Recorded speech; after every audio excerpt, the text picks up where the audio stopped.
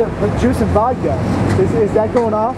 Is, is that going to be your, your latest album or what? It's one of our songs from our album. It's one of your songs from your album. Yeah, we're gonna How did it you come up with that? Right. How'd you come up with the, How'd you come up with juice and vodka?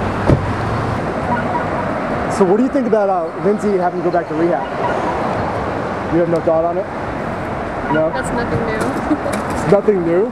Do you think it was better than uh, prison, or what do you think's better, prison, rehab? Yeah. No comment. How about Dancing with the Stars? You a fan of Dancing with the Stars?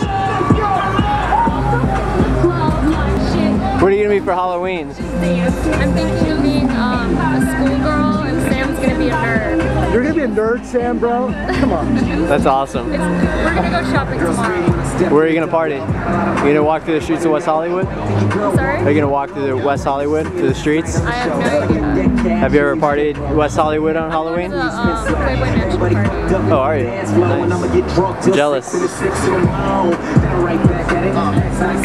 Is that juice and vodka? No, that's a new one. Is this their track? Another. Yeah. Chris's door. Go look on Chris's door. How am I gonna look on Chris's door when Chris is sitting in the, in the, in the passenger seat?